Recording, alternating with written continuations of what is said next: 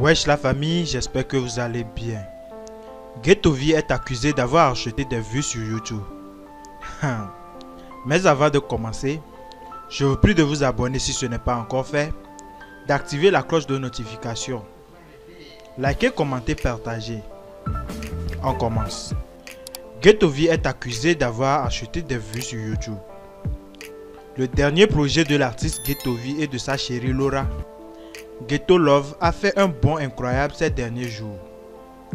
Tout à coup, le son a laissé près d'un demi-million de vues et a atteint plus de 900 000 vues sur YouTube. Cette augmentation soudaine a fait bailler beaucoup de salive. Il y a beaucoup de gens qui pensent que Ghettovi a acheté ses vues, mais n'arrivent pas à le dire à haute voix. Les fans de l'artiste ont été indignés et s'en ont occupé eux-mêmes. L'artiste lui-même ne fait pas d'histoire, mais ses fans se battent pour lui. Il y a vraiment une solidarité entre les Banous. Hmm. Ghettovi a-t-il vraiment acheté ses vues? Comment voyez-vous cette situation? Nous sommes intéressés par vos avis dans les commentaires. Eh bien, nous sommes arrivés à la fin de notre vidéo.